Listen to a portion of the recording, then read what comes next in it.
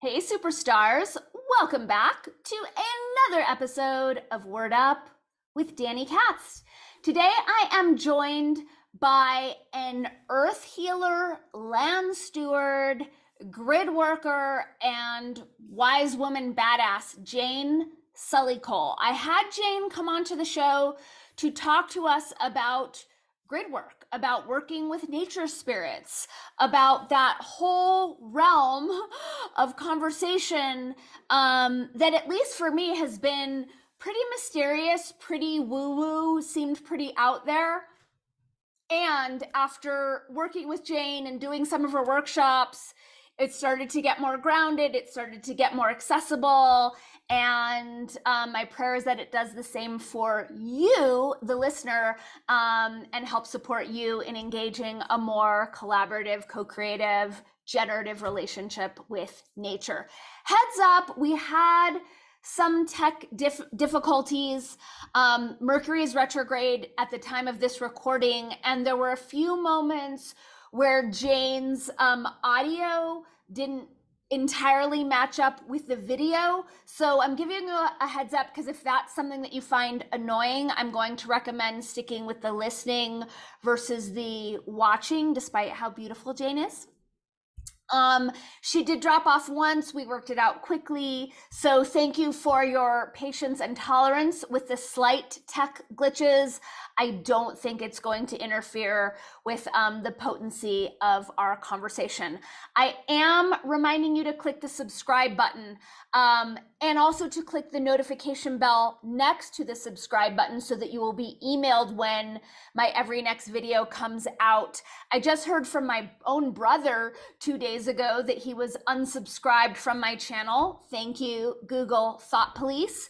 So, um, the best way to ensure that that doesn't happen i mean i can't actually ensure that that doesn't happen and um, hopefully clicking the notification bell will help and what will for sure help is to sign up for my newsletter at either danikatz.com or quantumlanguaging.com where um, you will be apprised of um, my video drops my workshops my webinars books live events etc etc um, the thought police have not yet figured out how to censor the newsletters so it's just a safeguard that ensures that you and i get to stay in touch. And in the meantime do click that subscribe button like share comment all that stuff helps give me reach. Allegedly i don't know if the rules are the same um, for such dangerous people as me. Um, also reminding you that my show is cut into two parts. So the first half is free on all of the audio podcast platforms, as well as on YouTube and on my locals page. The second half is reserved for my paying supporters on both locals and Patreon, where for as little as $5 a month, you get access to all of my second half conversations, plus bonus content, special discounts on offerings, etc., etc. Links are below. Choose the platform of your choice or both because and rocks. Um, and I think that does it for housekeeping. Buckle up and prepare to enjoy my conversation with the lovely Jayne Sully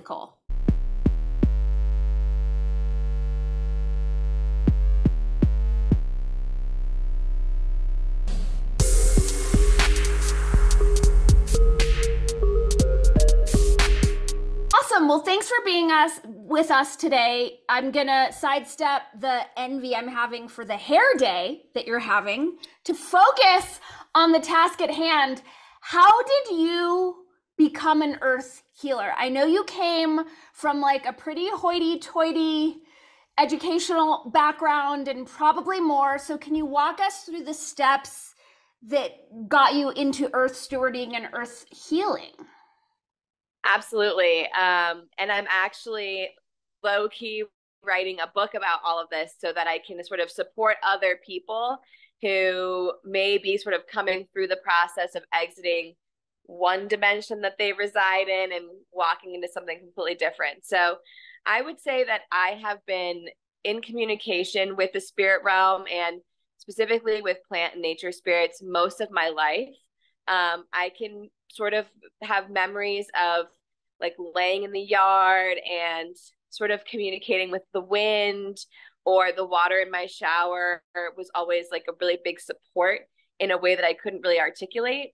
Um, but as you mentioned, I did come up through, um, you know, middle class Westchester outside of New York City, where none of this would have been socially acceptable. And so, um, really, the way that I came into it as an adult was I completely towered or demolished my life as I knew it. I was uh, my husband and I were were in we were owning we owned a restaurant in Vermont, a farm to table restaurant, and um, that started to go downhill. And I was having trouble, which is which was sort of interesting with these two sort of spirits on the property that were actually causing people to quit uh, working for us because they were so intense. Um, how did so, you know? How did you know that it was spirits that were creating the disruption? Well, we noticed a, the biggest thing was we noticed a lot of emotional changes in our staff. So they would come um, in one attitude, and then over time, you could tell they were really affected by something outside of themselves. Um, I also had one of our staff members just straight told me, uh, um, "There's something here. It's disturbing me so much that I can't continue working for you." And when, um, when you got that I, feedback, were you like, that's fucking crazy? Or were you like, yeah, I'm aware there's a spirit? I was more, you know, that I was aware. Um, I one of the things that I, I teach a lot about now in my grid working workshops and my earth healing workshops is the first step when you're ever experiencing any kind of spirit or any kind of um, energies from other realms is to look at the history of where you are. So it's really important to know who was there before you, what were their experiences, what was the place that you're in used for in antiquity, because that can kind of inform you of some framework as to what could be going on. Mm-hmm. Um, and so I knew about the history of the building and I very clearly could match some of the symptoms that I was seeing our staff and even myself on occasion experiencing to those energies. And what so, was the history of the location where you had your restaurant that allowed you to make this connection?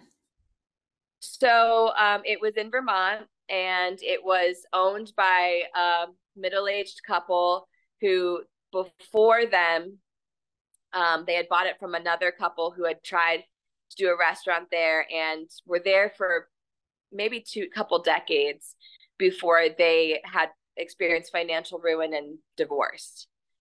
Um, so we knew about that, and then of course because of the his, there was a historical component, which is why the current owners, in addition to buying it off their previous owners, bought it was because they wanted to preserve this historical building, and it had actually been built in the early 1800s, about 1812. And you could see in the attic of this building drawings that the original people who lived there did in the attic when they were wintering up there for warmth. So they actually drew an American flag on the wall and dated it um, like in the winter winter of 1812. Ooh. So we knew that it had been there for a very long amount of time and um again through talking with the owners and and once they were kind of going through a lot of the historical data they realized that the original owner actually had two teenage people i mean i guess we'll call them slaves but they were two teenagers that he had there with him And this is vermont so this was very rare um, and they lived there in the house and were sort of the maid and cook of the building for the family. And that was who I believe was haunting, who was creating this um, energy shifts in this building. These were two teenagers who were obviously a very different skin color and um, had different experiences than their overlords and their bosses, and they weren't getting paid. They knew that if they were to leave, they would immediately been brought back there because everyone knew that they lived there. Um, and so there was a lot of sort of this trapped anger and sadness. Um, so the the girl who was there would be affecting a lot of the women. You'd be overwhelmed by by some kind of sadness that was unexplainable, and the male spirit was really targeting the men, and specifically our first chef, who um, experienced a huge shift in himself emotionally while he was working for us over that year. I mean, went from being very mild mannered to just screaming and shouting and um, acting really, really angry and almost sometimes violent towards us and towards his staff, which, you know, is isn't too far of the out of the realm for a chef necessarily, but um, watching him from when we hired him to later on um, in his employment there, it was just really market difference. Mm-hmm. And ultimately, because I knew this was going on, and I I in tune from again like bridging the history to now, um, I got the sense that whenever this restaurant was busy, it made these spirits feel feel like they had to go to work. They were, you know, disturbed by it was disturbing their peace to have this movement, the chatter, which is I think partly why the previous couple was never successful there and why we had just so many issues ourselves. And um, at that time, I was sort of at the beginning of going through a deep transformation and spiritual awakening. And so I actually um, researched and, and found a woman in the area who could support us in removing these energies or at least helping them transition. Um, and you know would have would had a lot more knowledge at that time than I did, and about you know specifically transitioning spirits. And so we called her in. Um, she did a walkthrough for about an hour and sat us down and said, you know, at first I didn't really think any, you know, I wasn't feeling anything. I wasn't sure about what was here, but then she after she had been there for about 30 minutes, she felt like she was like, it was like instantly it hit me like super hard this really heavy emotional presence and she was so um overwhelmed by it that it sort of changed her plan of action and um she was like this is going to take a really really deep clearing that could be days on end. No one can be here. Um the current chef that we had then after our first chef left had two cats. She was like the cats are going to need to have a cleansing as well. Anything that's here is going to have to experience this this cleansing. And and um, we didn't at the time have the permission from our the building owners which is a really vital part of clearing. Um, and so we just said this is our time to leave and ended up leaving altogether because of that mm-hmm. so yeah and then how did that well before i ask you how that took you into the work that you're doing now when you were a kid and you were, you know, connecting with the wind and having this specific relationship, was your family supportive? Were they aware? Was this like a secret thing? It was very secret. My family was not aware at all. Um, they they were my dad i would say sort of dabbled in what i would consider african mysticism in college um, but neither one of them was aware were aware of what was happening. I didn't really want to share it because I was afraid of, you know, the response. And, um, you know, at that time, I think I just didn't have enough confidence in myself to really be authentic about it. It was sort of something that I wanted to hide. So, yeah. Not not something that I really felt outwardly you know, was outwardly available to me until much later. Yeah. So you were having, you were already having your own spiritual transformation. This thing happens with the restaurant and the property. And then how did you jump all the way to Earth Steward or Grid Worker?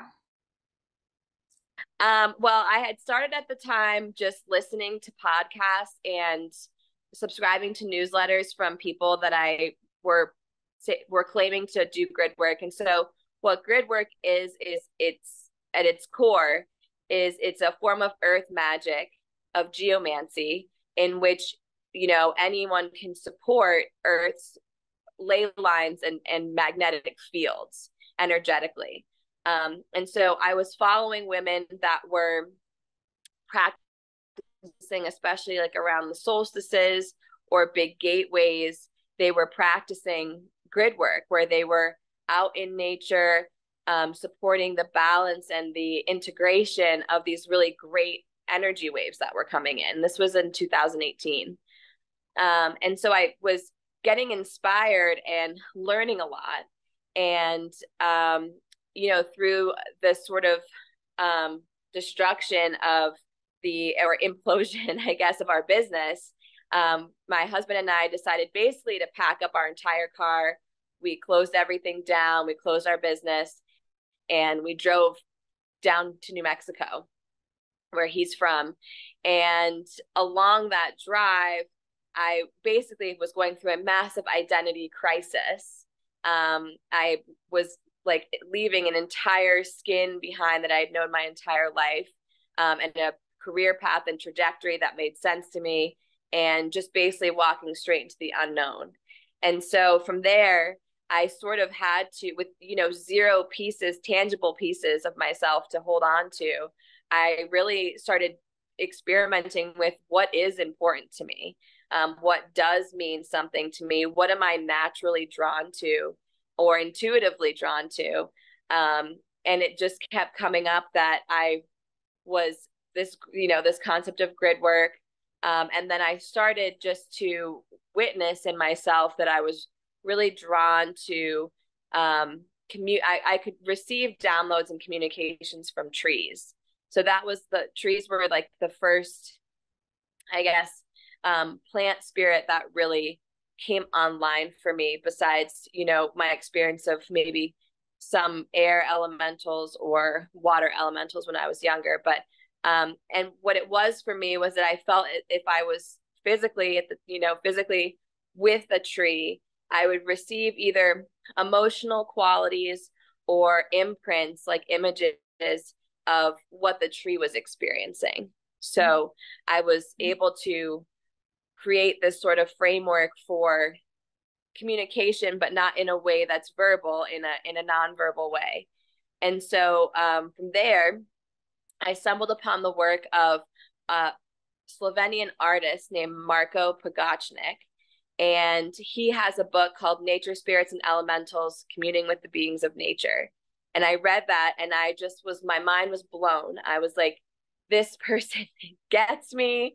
Um, they know what i'm saying they know they know they have these experiences they know what's happening. There was a ton of foundational information that i received that sort of helped me build a little bit more on these experiences that i was having with myself. And um, i love to travel. I've traveled my entire life and um, i never looking back on it now i think that part of what I was doing was physically receiving certain codes in my body from places I visited and then also imprinting my energetic frequency onto those places to for, for support. Um, at the time, I just think thought of it as like when I was little, oh, my head is tingly while I'm standing by these mega stones in France, or um, you know, feeling just a sense of like open-hearted glee at seeing the Grand Canyon for the first time. Um, so that once I found Marko's work and I sort of had this more of a framework for what I was already experiencing, that's when I really began to um, just st- like really hone in on what I felt were these gifts that I had. So I would drive in the car to different places I felt called to. I would take myself on what I would call intuitive journeys where I just would get in the car with no destination. I did one across the country and back from California and just it net literally didn't know where I was going to sleep that night. I would just feel every moment of what was happening and was called to some really incredible places and since then it's just blossomed um, from you know again like a, a, a complete deconstruction of self and you know regrowth in this really organic way so all right i have so many questions but um in reverse order it just sound it sounds like to take a cross country trip guided by intuition feels like a type of vision quest i imagine that that was an incredibly empowering experience. Like, how did that change you and change your relationship to reality? Well, you know, I mean, I do believe in this concept of zero point, which is, you know, wanting to be in in complete co-creatorship with the universe. So, if we're thinking about zero point, time necessarily isn't real. It's a construct of the earth plane, but it's not like a universal construct that's, you know, out in other dimensions, um, as we know it. Um, you know, the plan that we do where we make lists and we um, you know have a, a structure for what i'm doing tomorrow on what, tuesday and wednesday and thursday you can really just let all of that go. And it's terrifying because i am have spent my whole life wanting to be in a lot of control. And you really have to surrender to this wisdom of your in yourself that you're just sort of learning how to calibrate. So i was you know i would just feel to myself, okay, this is, I feel like I'm supposed to get off at this exit. I feel like, oh, there's a big lake here that I can go and spend time with. Or um, I was also drawn to, I spent some time in North Carolina at the Cherokee National Forest where um, my great great grandmother is Cherokee. So I spent some time in there. Um, and so it, it, it sort of actually brought out, I think, more of who I am because I I uh, I was able to completely play with these parts of myself that want to be uh, totally untethered, unstructured, um, and make it up as I went. And it it was incredibly uh, rewarding in that I, you know, I spent about three and a half weeks going back and forth, and um, was led to some really incredible, really beautiful places that I never would have maybe you know stopped and and spent time that if I was, you know, because before this point, I was anytime I was making a cross country journey, it was with purpose, and this purpose was to just be a hundred percent in the moment. I so. love that and the way that you languaged it because you did it with purpose. And then this trip helped you connect with your capital P purpose. It sounds like yeah. in terms of letting go of those smaller, like contrived purposes. Yes. Yep. And you know, um leading with leading with a, a, completely different frame of mind you know i shouldn't even say of mind of of spirit i mean there was no way to have my mind involved because my mind was panicking the whole time um you know where am i going to sleep tonight where is it okay you know not being able to plan or not having a plan for even later on where i was going to eat you know that was really terrifying for my mind and my you know probably somewhat a little bit of like the inner child you know was a little bit like this is it felt a little scary but it was an opportunity for me to also witness many parts of self and bring them into wholeness. Like we're all here together it's going to work out um and and that i was very protected i was safe um I never really felt unsafe during any part of the trip. And um, that was a great also just confirmation that, you know, we do live in a benevolent world. And, you know, really by with we, we can drop in truly to our hearts and let that guide us. And it's not, we're not, we're not leading ourselves into danger. It's just the con these our, our experiences that our mind has had or, or is formulated is what creates those fears. It's not really real. They're not really reality, or at least as I experienced it. Yeah, as I hear you speaking, like, and this is a very common framework for me, but that you moved really into your feminine and allowed that feminine to guide you, that trust, that unknown. And it's that masculine mind that's wanting to figure everything out and know where we're going to eat and sleep and all those things. So it sounds like you took this like giant leap into your capital F feminine. Absolutely. And, you know, that's a great point that you bring up there because I think I was operating in my masculine for a really long time.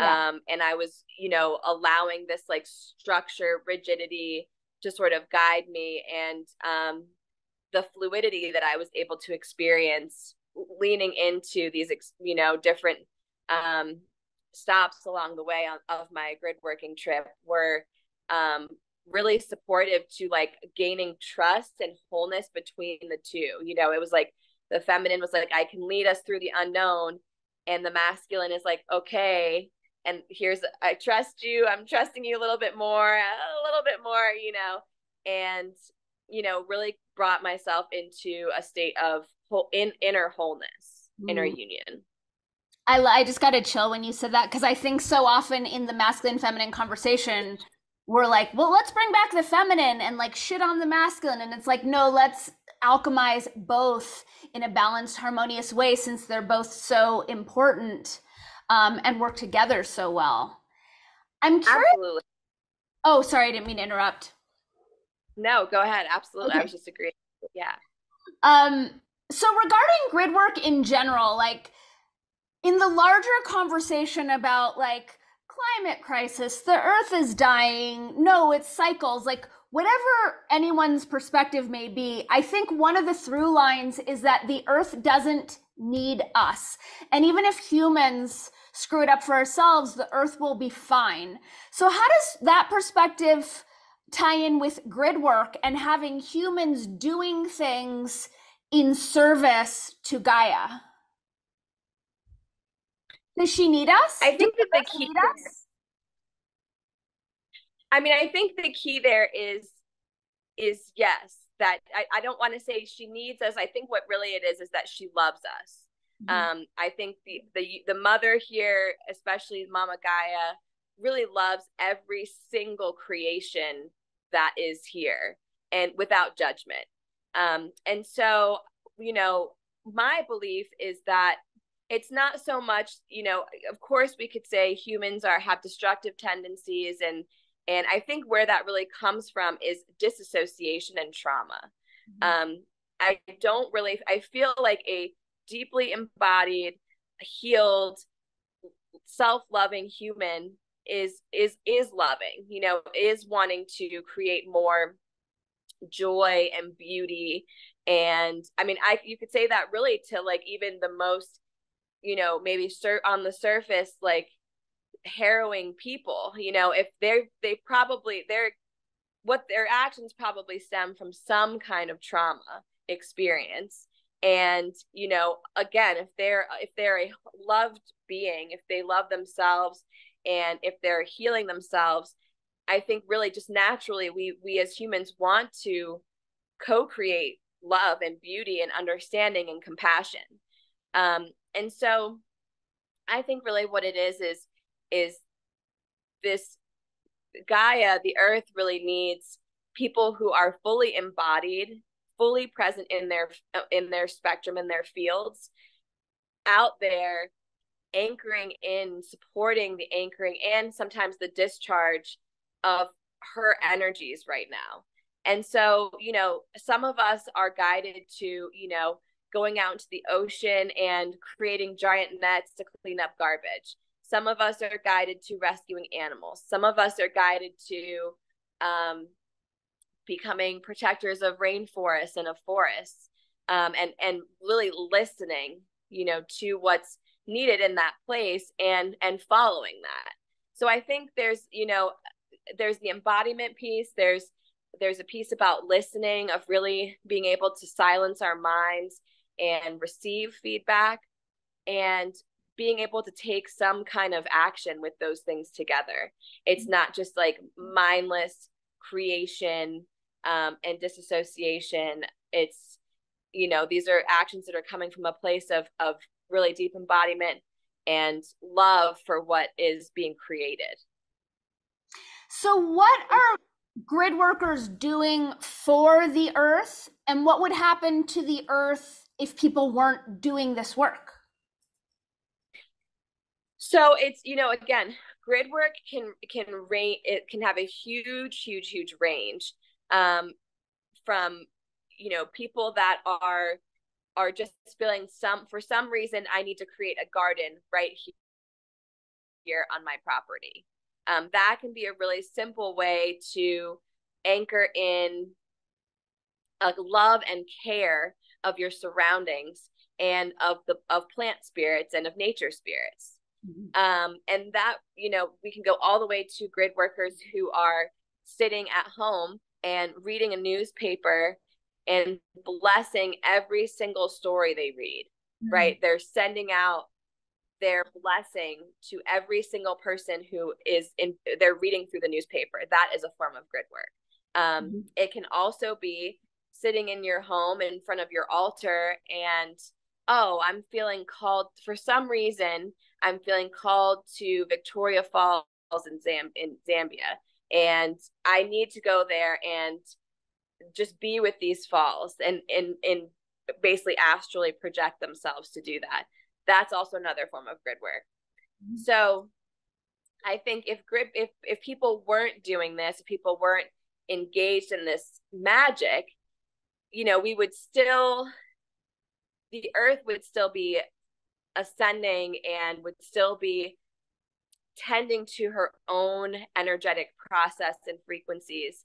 But I believe that there is this co creative process that knits us back into the fabric of, of earth of the earth.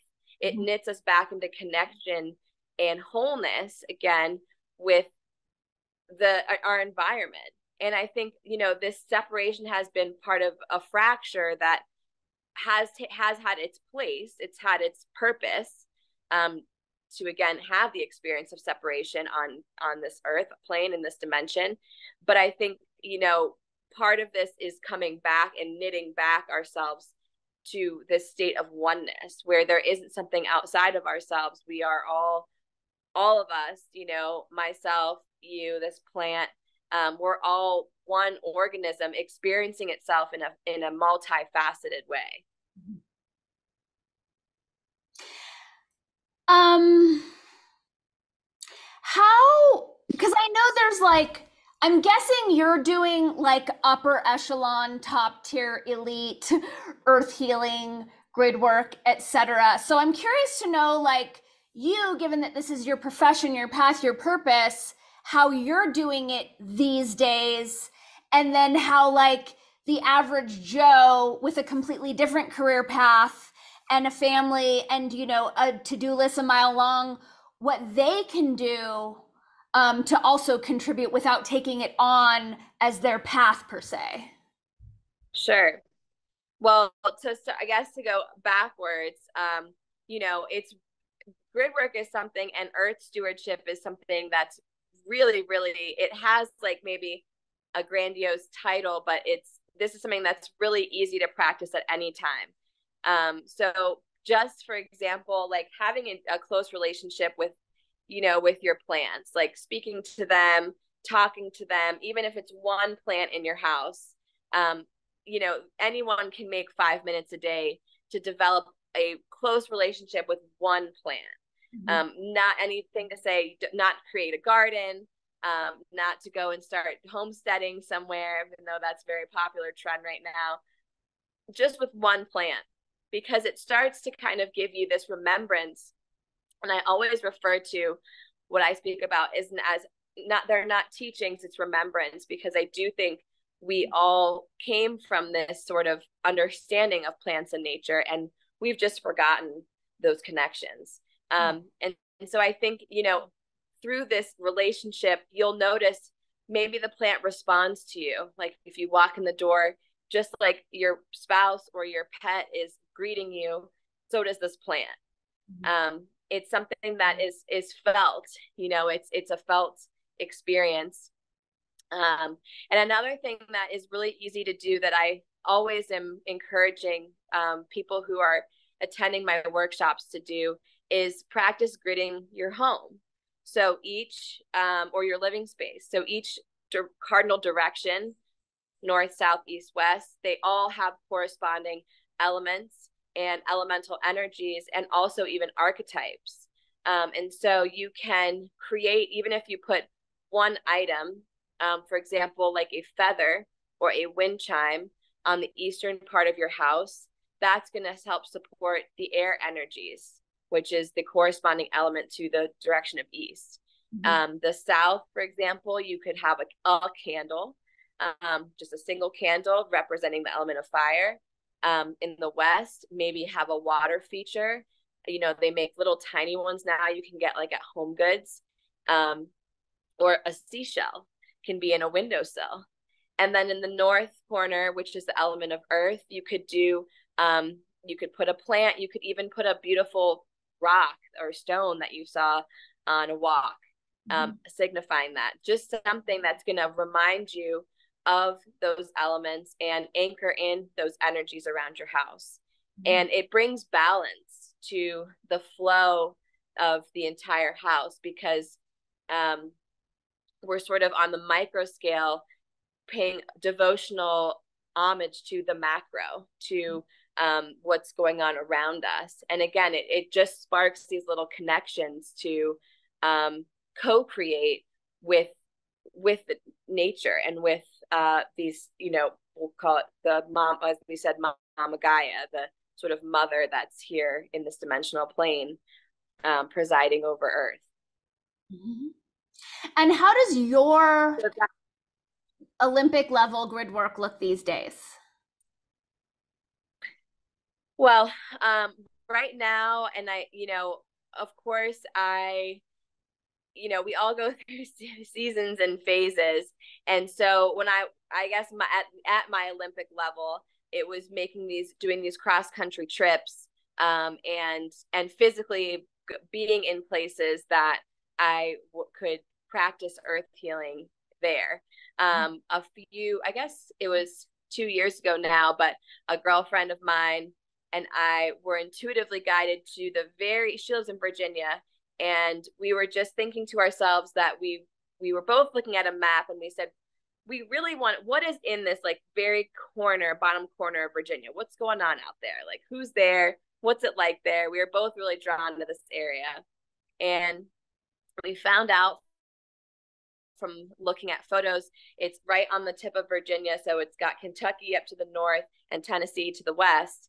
And so we looked and we found that there's this giant cave that's in this area and also the Cumberland Gap, which historically was the first sort of milestone for people traveling out west that they were about to go into the Midwest. So there's this big gap in the rocks um, in the stone in like a stone cliff there and that's where these settlers would travel through. So we kind of realized there was some um, energetic and historic significance this place we were drawn to in this cave. So we went there, we spent the night at a campsite outside nearby, and then went up into the cave and we brought all kinds of um, different magical items with us. We created a altar of flowers. We burned um, some puros, which are um, cigars that we had gotten from Guatemala, from South America. And we had a drum with us, and we just did some intuitive singing and speaking to this cave. And um, we basically, what we did was we I guess sort of brought like a I I can only describe it as like a rainbow bridge, some kind of release to um, inhabitants that were on a soul level that were still kind of stuck in the cave. Mm-hmm. And we also lifted a big block that was there that they were sort of anchoring um, across this east west corridor. So we kind of um, broke up that energy and then made it possible for energy to flow in a more easeful, intact way from east to west, moving out into Tennessee. Um, so that was you know one of my big sort of projects that i was undertaking in the last few years um, and since then i've been more focused on land stewardship which um, my husband and i are now on nine acres of land in central new mexico right by the rio grande um, and so i'm now working on projects to um, grid our property and eventually that my goal is to and what i've sort of been intuitively guided is that this land is going to be able to hold um, many energies from the world. So by taking and bringing small items from my travels, maybe a small jar of water or a, a stone or pebble from somewhere else, bringing that here and anchoring those energies here to again create a more robust energetic flow um, throughout the ley lines and grids of this area. Mm-hmm. So that's, that's sort of on the big scale that I'm doing as well. That's super cool. What sort of shifts have you seen as a result of this work, or people that you work with, have they seen or reported as a result of this work? Yeah, well, the biggest thing is connection. Um, you know, every single every single person that I've experienced that I've had these experiences with, or that I've like on when I do practice land healings that um, or give them guidance about how to work with their land, it's all the relationship. They'll say, "Oh, it was so exciting. I I bought these giant stones for my property, and I feel like they're speaking to me." Mm-hmm. Um, or uh, I set up this altar outside, and I really, I swear, I could, you know, sense the presence of fairies that were supporting the growth of my veggies. Mm-hmm. Um, so it's sort of like this something clicks where they have a remembrance of um, this is this is what we're supposed to do. This is what we're meant to do. Um, and they were, you know, feeling that openness, that open heartedness. So that's the biggest thing um, that I witness in actual people that I work with and that I that I advise on these things. And then in terms of their lands, like their properties, a few uh, land healings that I've done, people have reported that they just feel more easeful, like there's more flow. They're able to make decisions more in a more clear way. Um, and again, they they feel like they're in starting a relationship with the land, like they're they're they're witnessing in themselves. Okay, I, I am a caretaker here. Um, I I can I can have a dialogue with the different parts of the land, and it will respond to me. Okay, we do want this fountain to be put here we do need this water drainage here. Um, please put a bird feeder in this tree. Um, and then, you know, all of a sudden life is flourishing and their their energy, their personal energetic flow and the energy of the land is in co-creative and supporting each other. Um, so I would say that's, you know, that those this co-creative quality and um, also this remembrance of these kind of you know rituals and devotional ways we used to have comes back online um, as you know, I bought some property a few years ago in Ojo Caliente, and I feel like I've learned so much about working with land spirits from working on my own land. And I'd heard that um, that particular, you know, kind of corridor that the Spanish weren't able to conquer it because the spirits were too strong. And what mm-hmm. I've learned on that land is like mostly ask permission. You know, before cutting down a tree branch, I better ask permission or I'm going to get a giant Russian olive spike through my hand. You know i've even learned it with the rocks like oh this rock is so pretty and i got and it's weird to say these lessons right? Because it's coming it's so intuitive. It's not like a rock is opening its mouth and speaking to me. But i did get this lesson of like just because you think i'm pretty like don't take me from my home and put me in your pocket you greedy asshole it didn't say asshole um but i'm wondering are the land spirits or the, the nature spirits in New Mexico stronger, louder? Like, given that you've worked in so many parts of the world, like, what's going on here in New Mexico, which just feels so unique? Well, I will say that, that it's it's it's not necessarily you know a, a, like regionally fo- like based. There are really strong elemental energies everywhere. Um and it's it's it's sort of just where in that place the elemental presence has either been deeply revered over the years like in ojo caliente um the hot springs there were historically by the indigenous known by the indigenous people as to be very very sacred and were actually only really used for big meetings between other tribes where they could come together in a healing place in a in a relaxing place and and you know speak to different matters. And so i think part of what encourages a really strong elemental or nature spirit presence is the the way that it's been treated over the years in this is in sacred and sacredness mm-hmm. and um, devotion over the years. So specifically in New Mexico, and I found this kind of throughout, um, you know, desert specifically spirits, spirits that are in the sort of desert and grassland areas are very, they are particularly loud.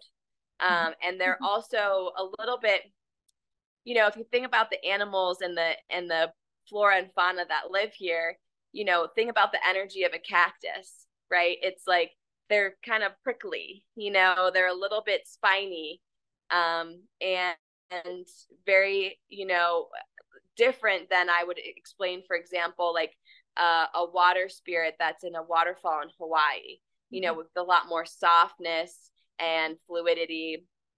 So um, I think it's really it's it can be that some areas here in New Mexico are just intact in their spiritual presence you know with the nat- with this nature spirit presence and also that there's a particular flavor of nature spirits here that is different and than other you know other energies elsewhere. But pretty much everywhere that i've gone uh, i always at some point stumble upon a strong elemental presence and that has ranged everything from um, i encountered a troll being underneath a bridge in California on the coast there um, in Northern California to, you know, the really, really bright, bright uh, energies of redwoods to, um, you know, this very ancient, sort of softer quality in the Appalachian area out in North Carolina. And, you know, even when, you know, in traveling in Europe and things like that, there is an it's all there's also many places that have very strong elemental presence just because um, there was such a, a, a strong knowledge of of elemental energies and so a lot of times shrines or some kind of pyre would be built on a, a zone that was uh, regarded as highly active um, and so you know that's been intact over potentially thousands and thousands of years that holds that energy there to that space. Mm-hmm. Um, I used to live in this community in Topanga Canyon, which interestingly enough was also a gathering place for all sorts of different tribes to come together and like catch up to speed and trade information. So it's interesting that I have that twice. And mm-hmm.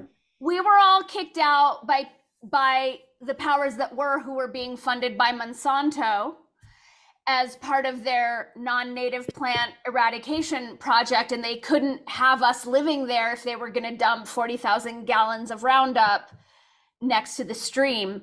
But I know that a lot of environmentalists take issue with non-native plants and how those kind of decimate the environment.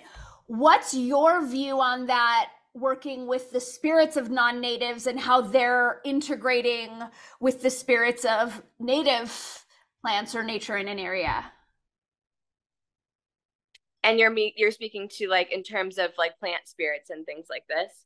Yeah like do they have beef with one another? Like do the native plant spirits get pissed off at the non-native plant spirits? Is that some sort of like propaganda that's coming out of the pesticide industry or is is it real?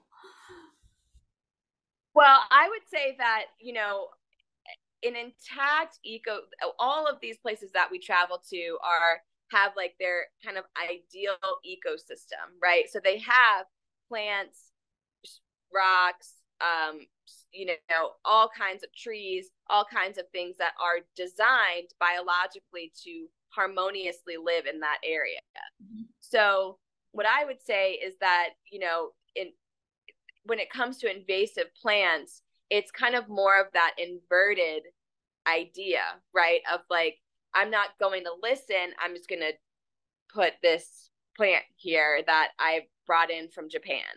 Right. Um, you know, I can't really think of any instance where, you know, because you, will hear things like, "Oh, well, we brought in uh, the this type of fish, like in in up in northern New Mexico, where um, they've they've brought in a lot of pike, to help keep you know which is a, a aggressive um fish that eats other fish. They've brought in the, the pike to help population control other fish, but then it decimates the fish population. So you hear a lot of this like, oh, well, we brought this thing in. It was well intentioned, um, you know, from another place. But I really can't think of an instance where it has worked out. It's mm-hmm. more of this kind of disconnect. Like, I know what I'm doing. I think from, you know, rationally that this is a good idea. And um, there's not really, again, this like listening. So I think, you know, humans can be uh, uh, like without really working on ourselves, we can be very impatient mm-hmm. and sort of just egotistical on how we view things. And I will say, you know, becoming um, aware of nature spirits and aware of earth spirits has really humbled me to you kind of are a dick. Like sometimes you can kind of act like a dick. And really, really being like, okay, what is the better way? And mm-hmm. having that not be the way that I thought. So, for example, when my husband and I moved onto this land last year that we're on, we were basically told by the land, don't do a single thing for a year, mm-hmm. at least. You know, mm-hmm. witness what grows here for better or worse. You know, if it's a, a, a crazy vine, if it's a parasitic plant, um, if your yard is covered in bindweed, which is like a sort of low growing um, creeper like morning glory, let it go. Just witness what's happening. And that was frustrating because you get to a new place and you immediately want to make changes and you want to do things. And um, we were basically instructed just watch and see what happens. Um, and so I think if there was more of this kind of dialogue and and openness to be wrong, um, we would see more informed decisions taking place. Like for example, I love the example of you know Southern Florida right now is having a huge epidemic of Burmese pythons. Why? Because wealthy people in Miami thought they would be cute little pets. Then they can't handle them when they get to be over 20 feet long and dump them in the Everglades where they have zero natural predators and have just are are overwhelming you know the the native species there and so it's actually become now that people are going out and hunting these Burmese pythons because they're just doing overkill. And you hear about this too with, um, you know, plant species that are brought in to potentially control a beetle that's, you know, harvesting all or killing all these other trees, and it it backfires in some way. So I think it's you know humbling ourselves enough to know that nature does have an intelligent design and um, there's there is a way that we can correct things that might be slower, might take more time, but ultimately is going to actually restore the ecosystem and not just decimate one corner of it.